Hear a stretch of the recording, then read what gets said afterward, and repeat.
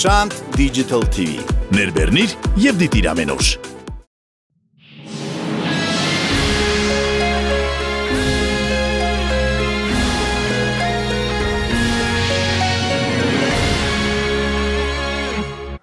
Օպերային տղամարդ երգիչները երգում են կամ բաս, կամ տենոր, կամ բարիտոն։ Մեր հաջորդ հաղորդման հերոսը բացառիկ է, նա կարողանում է երգել միաժամանակ բոլոր 3 այդ ձայներով։ Ու դա միակը չէ, ինչով հայտնի է մեր հայրենակիցը։ Կարեն Ակոպով, օպերային երգիչ, Սանկտ Պետերբուրգի Մարինյան թատրոնի մենակատար, Ռուսաստանի վաստակավոր արտիստ։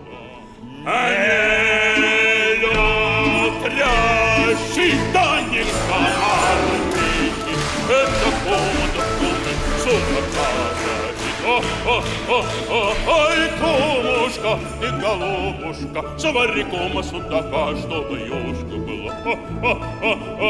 Ай, юшечка и петрушечка, поцелуй ты меня, кума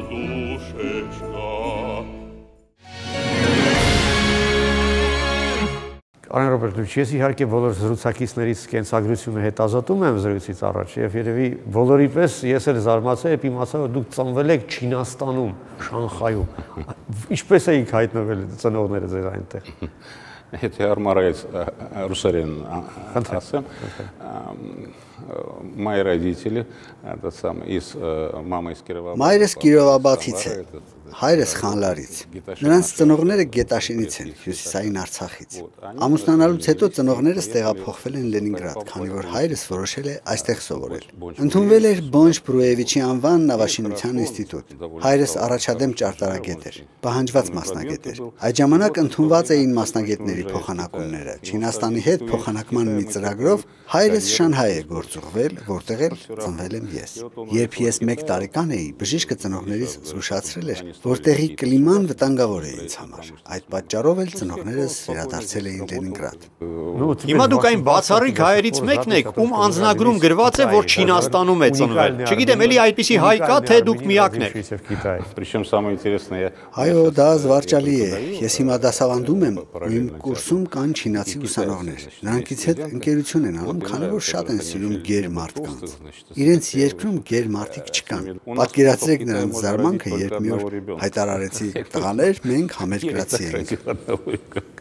Вот, так что да, вот это интересно. И, Կարեն, вы тоже как и папа. Կարեն, դուք էլ հայրիկի պես որոշել էիք նավաշինարար դառնալ։ а, Ну, дело в том, что э, в- у мамы очень хороший голос был. Այո, բայց արվեստը նույնպես գրավում էր ինձ։ Մայրս լավ ձայն ուներ, իսկ քեռիս հայտնի տենոր էր։ Երևանում էր աշխատում, հայ համերգում։ Սեփական նվագախումբ ուներ։ Ուզում էի քեռուս նման երգիչ դառնալ, բայց երբ դպրոցը ավարտեցի ու պետք էր արագ կողմնորոշվել մասնագիտության հարցում, հետևեցի հորս խորհրդին ու ընդունվեցի Նավաշինության ինստիտուտի սարքաշինական բաժինը։ Հաճախ եմ կատակով ասում, որ օպերային արվեստում միակ մարդն եմ, որը նաև ստորջերյա ռումբերի նշանառության մասնագետ է։ Հուսով եմ, այդ գիտելիքները ինձ երբեք պետք չեն գա։ Երկելը շատ ավելի հաճելի է, քան մահացու տորպեդոներ ուղղորդելը։ Հաջողությամբ ավարտել էի նավաշինության ինստիտուտը, երբ հասկացա, որ առանց երգի չեմ կարող։ Ամեն ինչ թողեցի ու զբաղվեցի վոկալով։ Ընդունվեցի կոնսերվատորիա։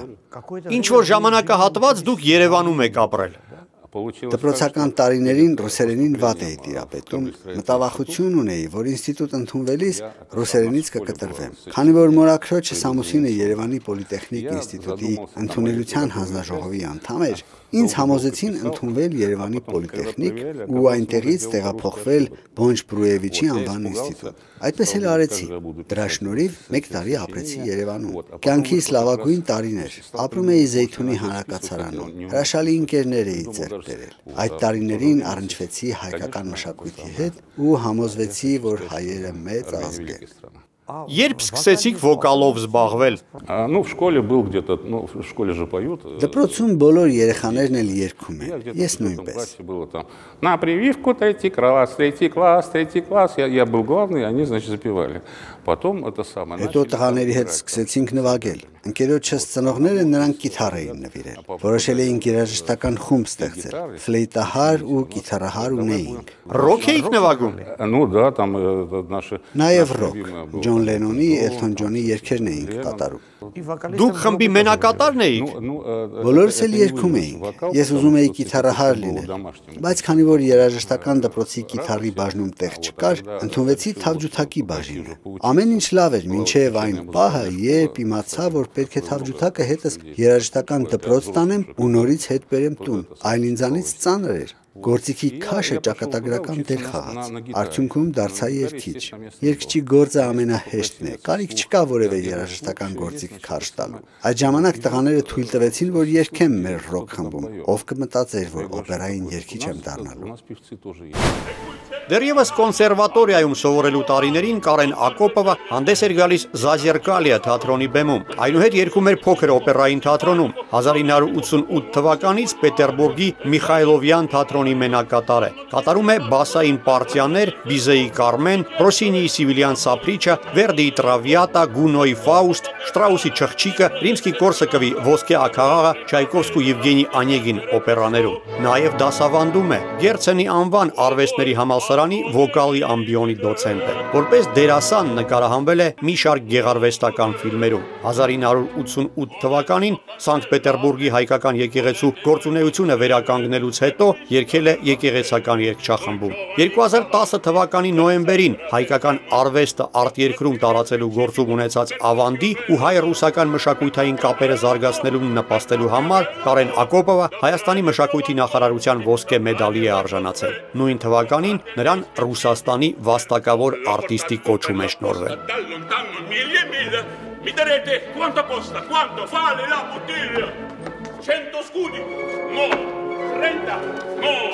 20? Nessuno si sgommenti per provarvi il mio contento Dissi amico a fallimento Io le voglio buona gente uno scudo regalare Uno solo veramente più cavolo non si può dare Non si può dare Non si può dare Non si può dare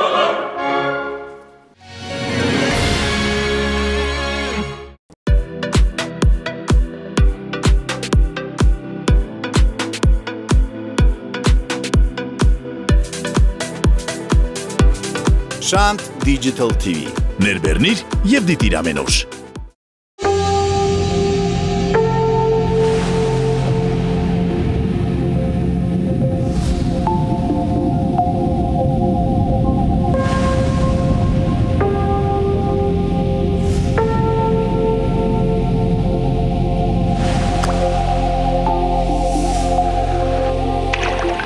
Նորույթ շուկայում։ Ջինջ մրգողիներ արտադրված միայն մրգերից։ Так как эта трансформация? Կարեն ինչպես տեղի ունեցավ այդ տրանսֆորմացիան ռոք երգող տղայից, ինչպես դարձաք օպերային երգիչ։ В принципе, одно и то же.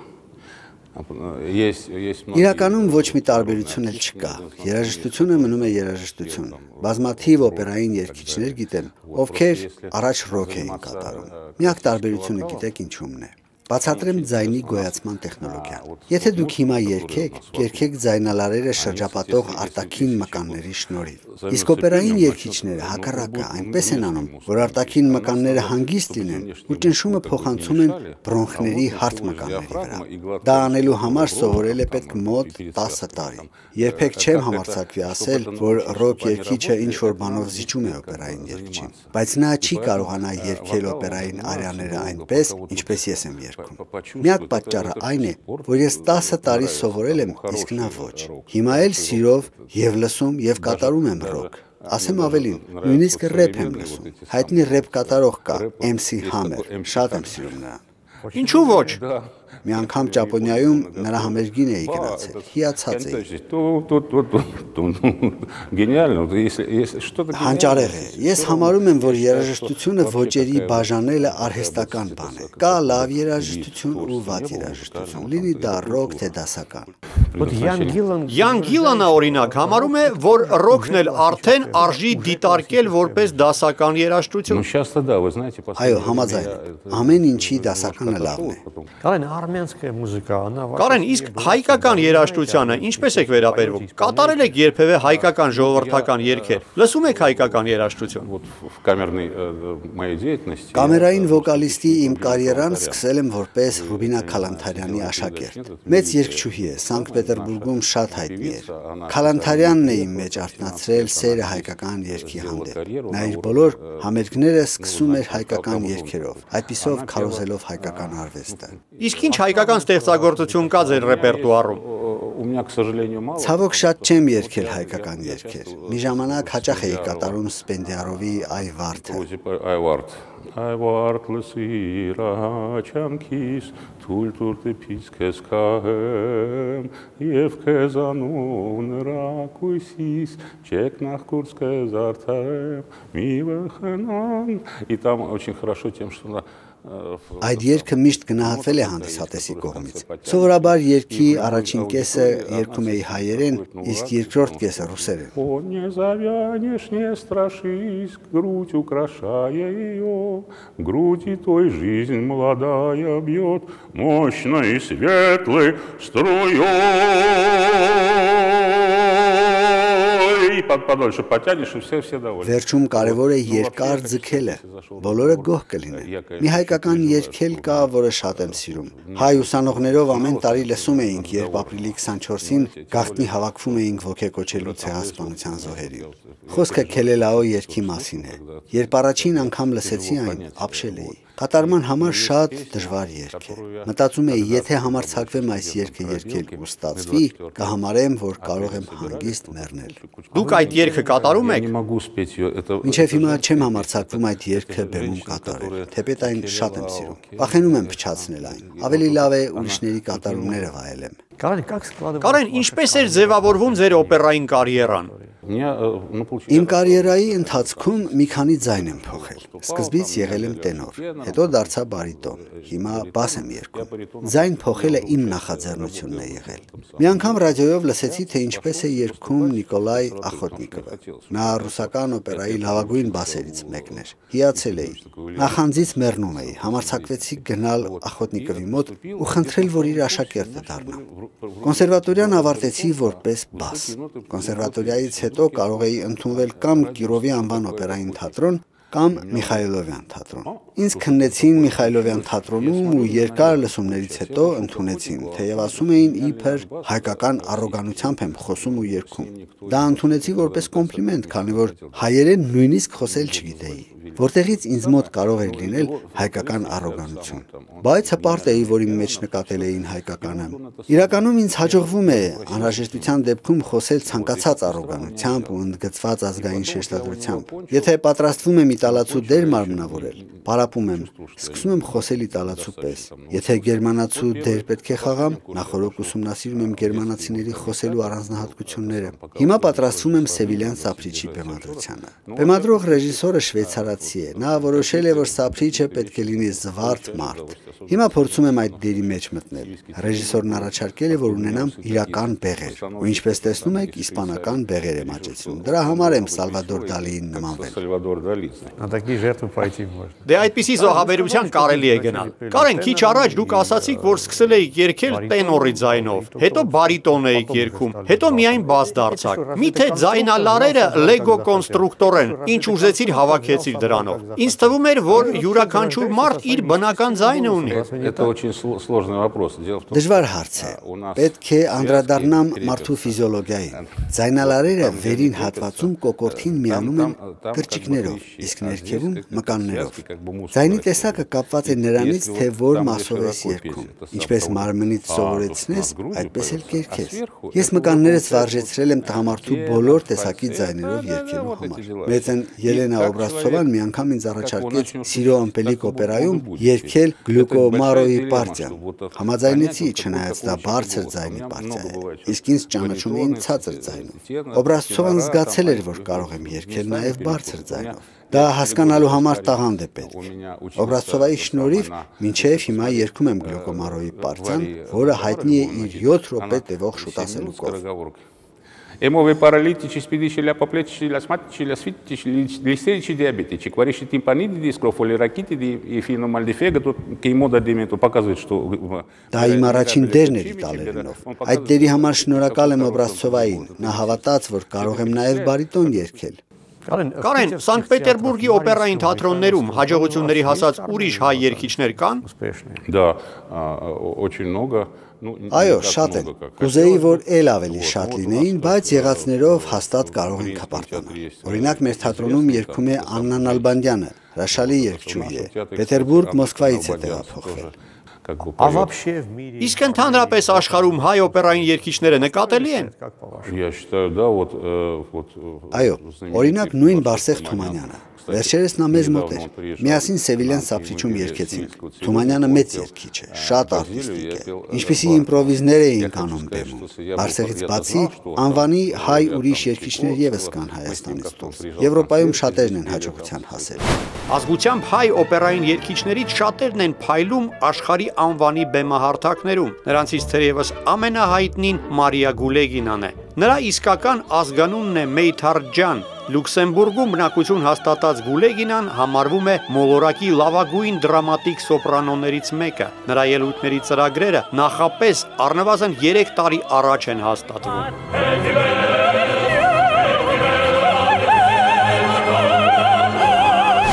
Ավստրիայում բնակվող հայտնի սոպրանո Հասմիկ Պապյանը երգել է այդպիսի աշխարհահռչակ վոկալիստների հետ, ինչպիսիք են Պլասիդո Դոմինգոն, Ռոբերտո Ալանյան, Ջուզեպե Ջակոմինին, Ելենա Աբրասցովան։ Հայազգի պրիման փայլել է Միլանի Լասկալայում, Նյու Յորքի մետրոպոլիտենում, Մոսկվայի Բալշոյում, Փարիզի Բաստիլում։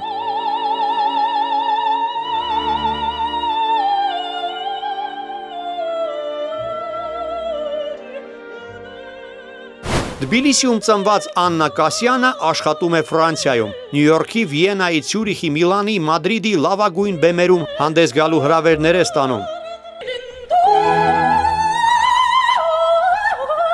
Օդեսայում ծնված ու այժմ Կիևում ստեղծագործող Սուսաննա Չախոյանի ձայնը կոլորատուրային սոպրանո է։ Նա Ուկրաինայի ազգային օպերային թատրոնի մեներկչուհի է, Ուկրաինայի վաստակավոր արտիստ։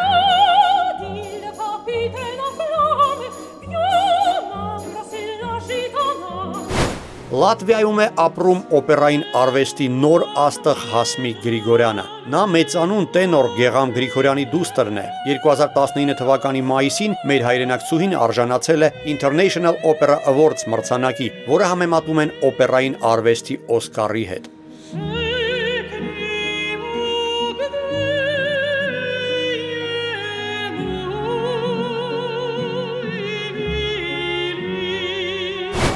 Սոպրանո Կրիստինա Մխիթարյանը բազմաթիվ միջազգային վոկալ մրցույթների դափնեկիր է։ Մի շարք հեղինակավոր եվրոպական օպերային թատրոնների հրավիրյալ մենակատար։ Մեծ հաջողությամբ հանդես է եկել Մոսկվայի Բալշոյում, Լոնդոնի Covent Garden-ում, Դանիայի Թագավորական օպերայում, Բերլինի, Բոննի, Բարսելոնայի, Օսլոյի, Սիդնեյի օպերային թատրոններում։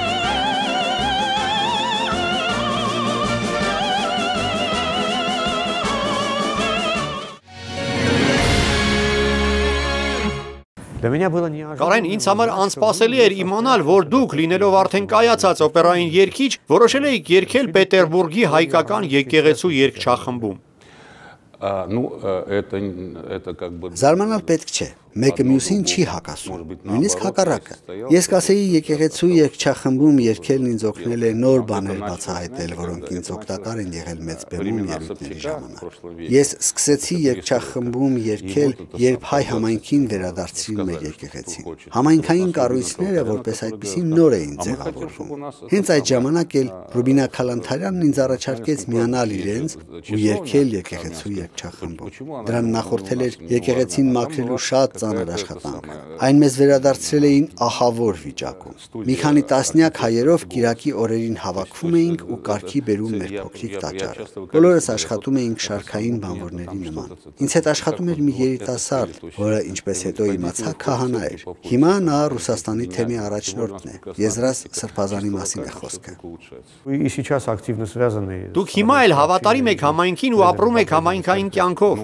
Ну, это счастье, что у нас есть община. Երջանկություն է, որ մենք ունենք համայնք, որ մենք կարող ենք հանդիպել, օգնել միմյանց, ուրախանալ միմյանց հաջողություններով։ Համայնքը համախմբված է եկեղեցու շուրջ։ Լավ հոգևոր հայրեր ունենք։ Ցավոք ոչ բոլոր հայերն են ապրում համայնքի կյանքով։ Դա բնական է։ Ոչ մեկին չեմ դատապարտում։ Ինձ բավական է իմանալ, որ նրանց գործերը լավ են ու նրանք բարձր են պահում հայի պատիվը։ Պետերբուրգում ապրող հայերից շատերն են մեծ ձեռքբերումների հասել ու հայտնի են դուք նրանց անունները ինձանից լավ գիտեք։ Պետերբուրգցի հայերից շատերն են հայտնի ու շատ հարգված։ Ահա նրանցից ընդամենը մի քանիսի անունները։ Յուրի Կասպարյանը համարվում է Ռուսաստանի լավագույն ռոք գիտարահարներից մեկը։ Նա Վիկտոր Ցոյի լեգենդար կինո խմբի անդամ է եղել։ Ռուսական ռոք մշակույթի հիմնադիրներից մեկն է համարվում։ Հիմա ղեկավարում է սիմֆոնիկ կինո մեգա նախագիծը։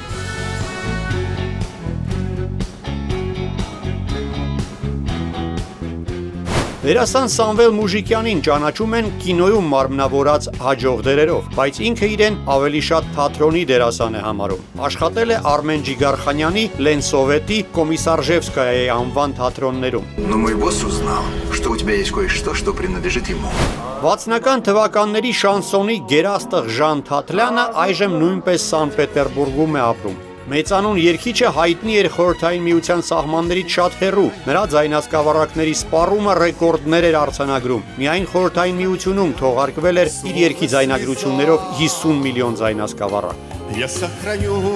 в душе твои глаза.